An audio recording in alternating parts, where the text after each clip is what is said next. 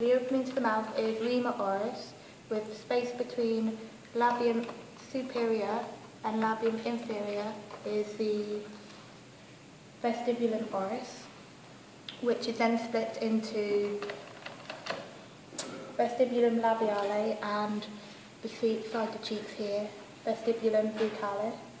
Then inside the mouth, you have the cavum oris proprium, which is bound by the dentes incisivi, sorry, the palatinum durum, palatinum moris, then caudally, the isthmus faucium, and eventually the tongue and lower, lower floor of the mouth. Um,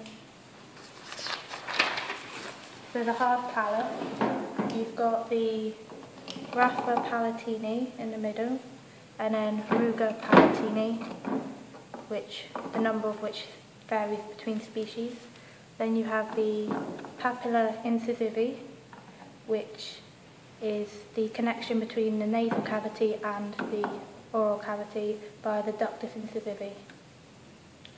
Uh, the hard palate is split into three.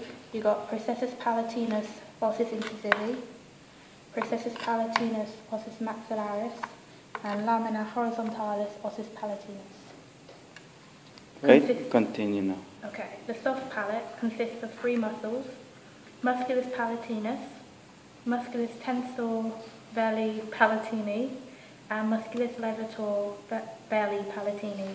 All three of these work together for the movement of the soft palate.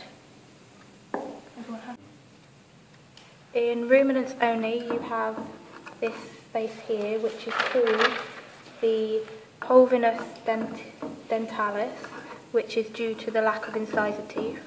Also here, you have the papilla conicae, which is only present in ruminants and cats, but it's in a different location in cats. In all animals, you have a connection between the lip and the gums, so it's called the fren- frenulum labii inferior and superior. And then in domestic animals, you have a connection between the upper lip and the nostrils. So in ruminants, it's called the planum nasolabialis.